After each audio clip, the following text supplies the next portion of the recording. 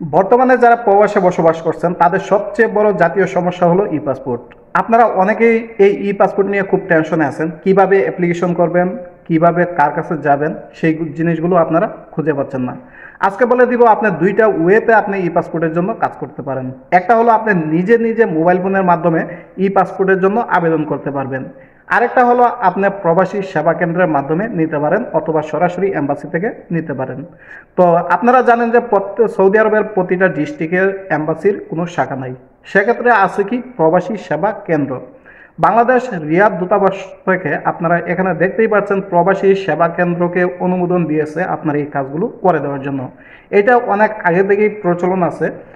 Saudi আরবের প্রতিটা ডিস্ট্রিক্টেই পেয়ে যাবেন একটি করে প্রবাসী সেবা কেন্দ্র। আজকে দেখিয়ে দিব কোন কোন ডিস্ট্রিক্টের সেবা কেন্দ্রগুলো আছে।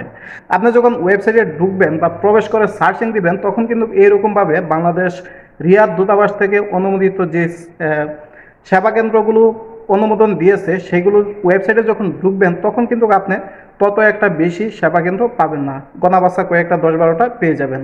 তো সৌদি আরবের প্রত্যেকটা ডিস্ট্রিক্টে কিন্তু বর্তমানে সেবা কেন্দ্র চালু আছে। তো আজকে দেখিয়ে দিব কীভাবে আপনি খুব সহজে প্রবাসী সেবা কেন্দ্রগুলো আপনি খুঁজে বাইর করবেন।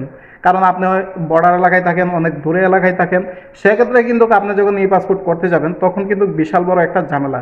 কীরকম ঝামেলা আপনি দেখা গেল যে মোবাইলে যখন আবেদন করতে যাবেন, তখন যদি ছোট্টখাটো ভুল হয়ে যায়, সেক্ষেত্রে কিন্তু আপনি একটা জটিলতার সম্মুখীন হবেন।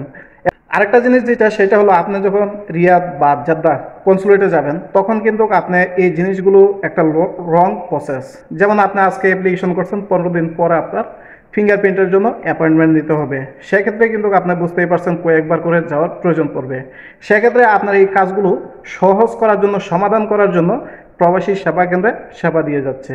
তাদের সেবা অত্যন্ত ভালো। আপনি যদি মোবাইল ফোনে না অ্যাপ্লিকেশন করতে পারেন বা না বুঝেন, তাহলে কিন্তু তাদের সেবাগুলো আপনারা নিতে পারেন। তো এখানে যখন আপনি সার্চিং দিবেন, তখন কিন্তু প্রবাসী সেবা কেন্দ্র মাত্র কয়েকটা ডিস্ট্রিক্টে পাবেন। কিন্তু বর্তমানে প্রত্যেকটা ডিস্ট্রিক্টেই চালু আছে। আপনি যেই ডিস্ট্রিক্টে থাকেন, অথবা যেখান থেকে আপনি প্রবাসী সেবা কেন্দ্র নিতে যাচ্ছেন সেখান থেকে আপনি গুগলে যাবেন, গিয়ে আপনি সেই ডিস্ট্রিক্টের নাম লিখবেন, লেখে আপনি গুগলে সার্চিং করবেন, বাংলাদেশ প্রবাসী সেবা কেন্দ্র। এবং সাথে সাথে আপনি ডিস্ট্রিক্টটার নাম দিয়ে দিবেন, দেওয়ার পরে কিন্তু আপনি এরকমভাবে ওয়েবসাইটে প্রবাসী সেবা কেন্দ্রগুলো দেখতে পারবেন। সেখানে আপনি পেয়ে যাবেন লোকেশন এবং নাম্বার ঠিকানা।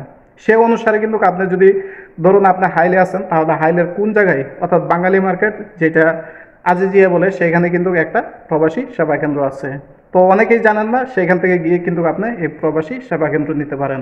আবার যদি আপনি যে জানে থাকেন, তাহলে কিন্তু আপনাকে যেতে হবে জিজান সিটিতে। সেইখানে আপনি যে ইশারা আছে, সেইটার পাশেই কিন্তু আপনি পেয়ে যাবেন প্রবাসী সেবা কেন্দ্র।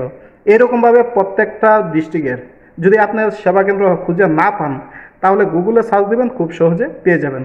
সেখানে তাদের নাম্বার দেওয়া আছে, সেই নাম্বার অনুসারে আপনি তাদের কাছ থেকে সেবা নিতে পারবেন এবং সেখানে খুব সহজে যেতে পারবেন। ই পাসপোর্টের জন্য আপনার সবচেয়ে গুরুত্বপূর্ণ যেটা, সেটা হলো জন্ম নিবন্ধন। সেটা কিন্তু আপনি আপনার মোবাইল ফোনের মাধ্যমে সৌদি আরবে বসে থাকে অথবা মালয়েশিয়া অর্থাৎ প্রবাসে বসে থেকে আপনি বাহির করতে পারবেন। কীভাবে বাহির করবেন, সে পুরো প্রসেসটা আমি নিচে ডেসক্রিপশন বক্সে লিঙ্ক দেওয়া আছে, সেই ভিডিওতে দেখাইছি। ইচ্ছা করলে আপনি যদি মোবাইল সম্বন্ধে বিন্দুমাত্র জানেন, তাহলে কিন্তু বাহির করতে পারবেন। আপনি যদি না জানেন, কেউ যদি আপনার পাশে মোবাইল ফোন সম্বন্ধে জানেন তাদের কাছ থেকেও আপনি বাইর করে নিতে পারবেন। তো আজকের ভিডিওটা করার উদ্দেশ্য হলো যাতে শত শত লক্ষ লক্ষ প্রবাসী আছেন, তারা কিন্তু এই জিনিসটা নিয়ে খুবই কনফিউজ আছেন যে ই পাসপোর্ট তৈরি করব, বিশাল বড় একটা ঝামেলা, কোথায় যাব, কীভাবে অ্যাপ্লিকেশন করব, কার কাছে যাব, এটা নিয়ে কিন্তু আপনারা খুব হতাশায় ছিলেন। তো আমি মনে করি কারও কাছে যাওয়ার দরকার নাই, আপনার ফোনের মাধ্যমেও করার প্রয়োজন নাই প্রবাসী সেবা কেন্দ্রে যান, যাওয়ার পরে কিন্তু আপনি এই সেবাগুলো পেয়ে যাবেন। আপনার হাতের নাগালে প্রত্যেকটা ডিস্ট্রিক্টে প্রবাসী সেবা কেন্দ্র আছে। সেইখান থেকে আপনি যাবেন, যাওয়ার পর আপনার যে পুরো প্রসেস অ্যাপ্লিকেশন থেকে শুরু করে যতগুলো প্রসেস আছে, সবগুলো ওনারা করে দিবে এবং অ্যাপয়েন্টমেন্টের ডেট নিয়ে দিবে। শুধুমাত্র আপনি সেই ডেট অনুসারে বাংলাদেশের এম্বাসিতে যাবেন, যাওয়ার পরে ফিঙ্গার দিবেন, দেওয়ার পরে কিন্তু আপনি প্রসেস হয়ে যাবে। সেক্ষেত্রে কিন্তু আপনি খুব সহজে ই পাসপোর্ট পেয়ে যাবেন। তাই যারা এই বিষয়টা নিয়ে চিন্তিত আছেন, তাদের চিন্তার কোনো প্রয়োজন নেই, আপনারা এই প্রসেসটা ফলো করতে পারেন। যদি ভিডিওটি ফেসবুকের পেজ থেকে দেখে থাকেন, তাহলে অবশ্যই ফলো করে দিবেন। আর যদি ইউটিউব থেকে দেখে থাকেন, তাহলে আপনার মতামত কমেন্টের মাধ্যমে জানাতে পারেন। ভিডিওটি শেয়ার করে দিবেন, যাতে শত শত হাজার হাজার প্রবাসীরা উপকৃত হতে পারে। সবাইকে অসংখ্য অসংখ্য ধন্যবাদ।